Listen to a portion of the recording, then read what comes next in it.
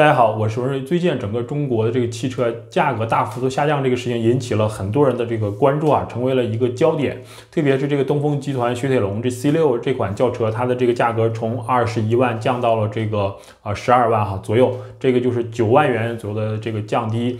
它这个其实。不是直接降价了，是这个湖北省政府的财政补贴。总之，从消费者的角度来看的话，整个降幅是很大的啊。很多人我看在往里面说说，以前看这个 C 六这个车显得它很老，但是现在看来就是说显得它成熟稳重啊。大致是这么个意思，就是说这个价格大幅度下降，让很多这个消费者觉得心里面很开心，就这样的一个状态。然后。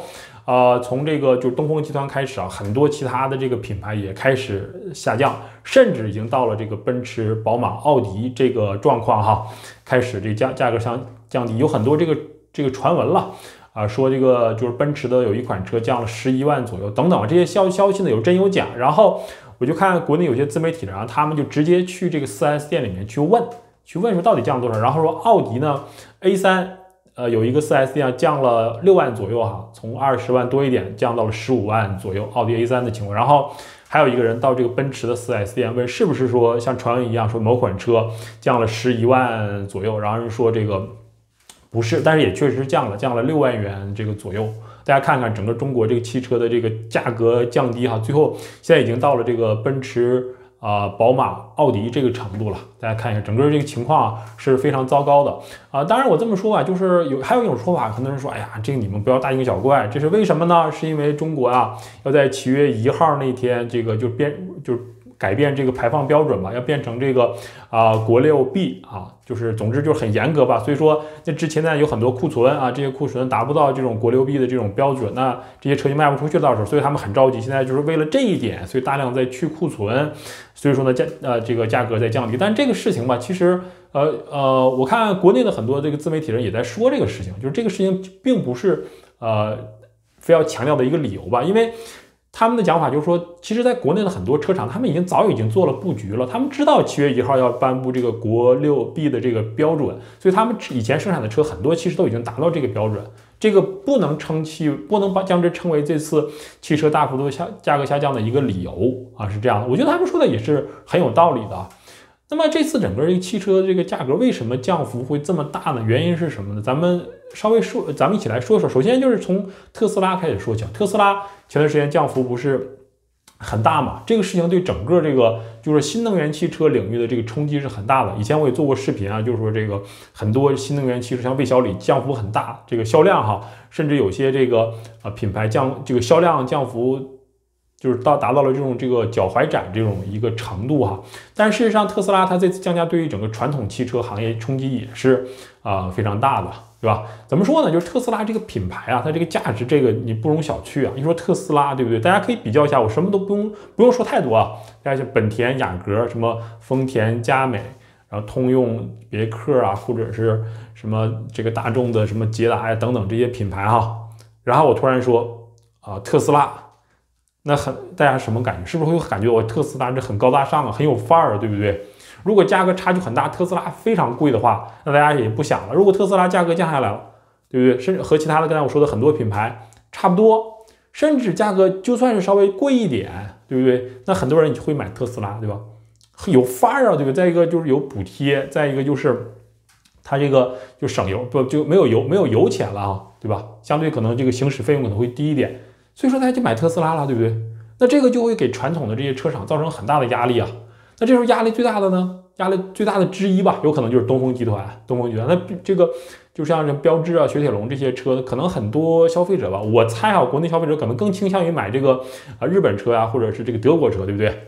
那这些他们这个东风集团压力就会非常大，他一想再这么不卖卖不卖的话，不降价的话，可能以后以后就真卖不出去了。所以说他们就痛定思痛，就开始大规模的这个呃这个降价，对不对？那前面有特斯拉降价，后面有这个东风集团降价，那中间这些车厂日系对吧？包括这个这个德国的美国车，那就着急了，怎么办呢？这个事情赶紧卖，他们他们就开始赶紧降价，就是已经到了达到了这个奔驰、宝马、奥迪的这个。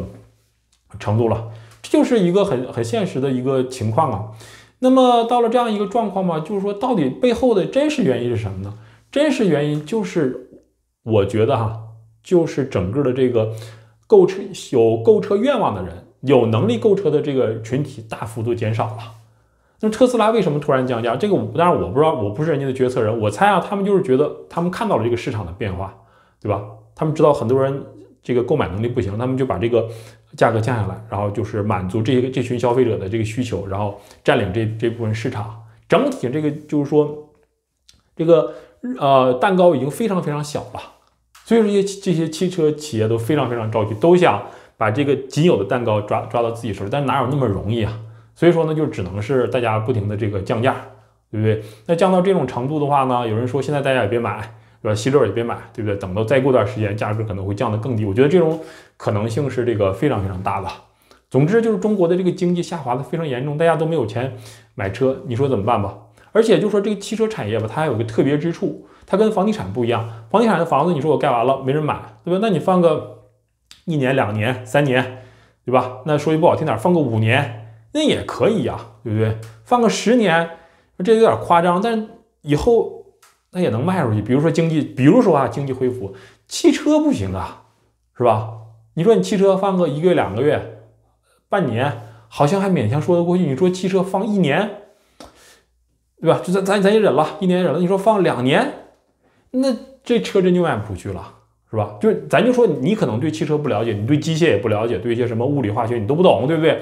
你说这个车哈，它已经放了这个两年了，你还能把它当做新车吗？起码你会知道是不是这个金属会生锈啊，对吧？有一些这个塑料管件呐，就包括轮胎会不会老化？你肯定会这个想法，就基本大家都能想到。就你说这个车放久了，我不买啊，肯定不买，是不是？那车在它也不是说全都在室内给你好好保管，很多那车大批量的，我看都是在呃外室外，对吧？风吹日晒的，是不是？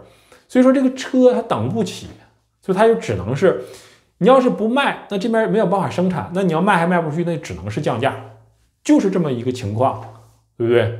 所以说呢，不论有很多人怎么解释吧，说白了，简单讲就是买车的人少了，然后库存还一大堆，然后车呢还不能放。放久了就真就没人买了，所以说就只能是降价，就这么一个情况，对吧？就现在在中国这个状况嘛，就是说很多人说，哎呀，文人你不老说这个人民币贬值吗？对不对？印了很多钱，对吧？物价要往上涨，那怎么汽车还大幅降价了？你这不说的不是不对吗？其实不是这样的，中国社会吧，包括其他社会发生这个经济危机的时候吧，是这样的，就是和民生密切相关的东西，它是一定会这个涨价的，呃，就是。通货膨胀嘛，对？水电气暖，包括吃的东西是这样，但是其他的那些东西可有可无的，那个价格就会大幅度下降。我没有钱嘛，对我干嘛去买你那些东西啊？车对？我我我不可不开了，对我现在我手有一辆这个很一般的车，我开一般车的也可以。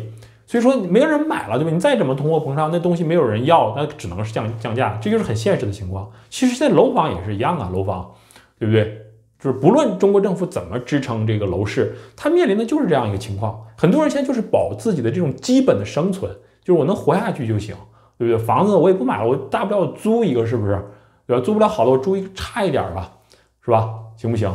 所以说房子也没有人买，房子降价肯定也是一个必然，但是只是说房子这个降价以后呢，对整个中国的经济的冲击，对这个体制稳定性的冲击太大，所以中国政府现在不敢放。但是汽车这一块呢，它可能也顾不了太多了。对吧？像我刚才讲的车你也等不起，是不是？所以他就开始放开，那这个事情呢也会影响会非常大。那很多车厂你一旦降下去以后，那就都都降，那你最后企业就得亏钱了。亏钱以后，你就最后就经营不下去了。那倒闭的话呢，还是会导致很多很多这种失业，这是一定的。所以说整个中国经济吧都在朝着一个非常负面的方向在发展，这是一个现实，谁也挡不住。好，这就说这么多啊，咱们下期节目再见，谢谢大家。